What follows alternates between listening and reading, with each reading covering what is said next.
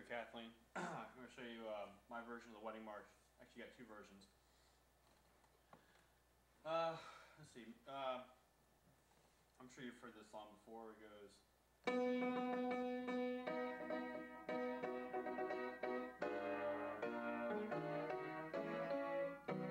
That whole thing. Well, it seems like a lot of people don't like the song, and I think it's because the clashing chords came up with my own version. It's arpeggiated, so there's no chords, just a bunch of running notes.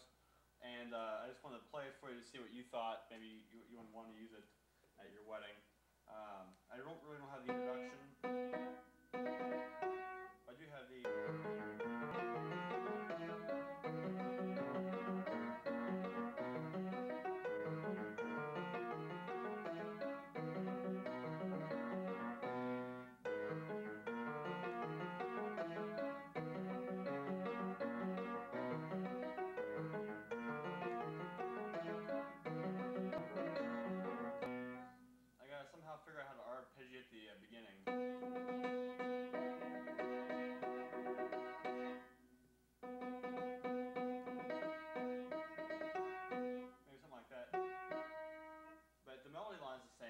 Still playing.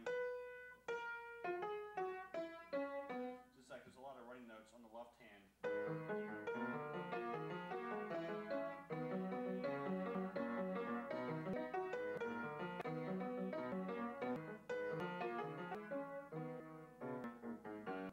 Uh, I think I've, another cool idea that I, I will just uh, tell you on Facebook uh, as far as the arrangement goes with that one, one possibility. Now, um, this next version is a jazz version that came up with like seven years ago or something. Um,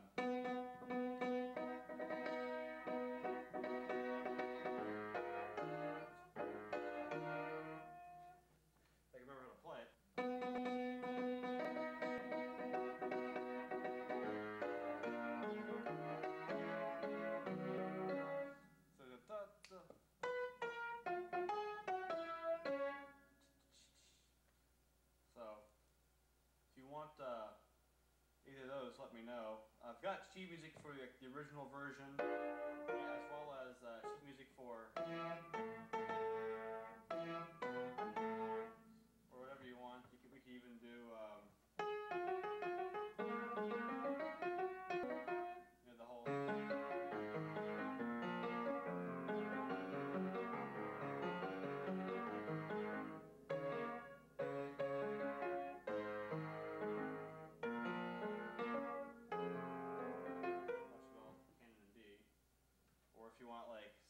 Megadeth.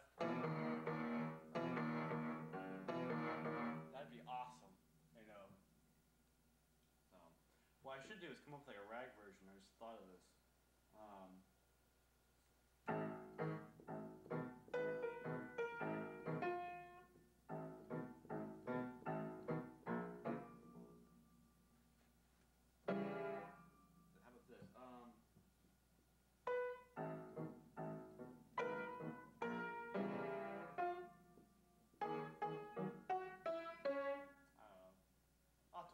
I've been working a lot with like ragtime music and writing rag music. To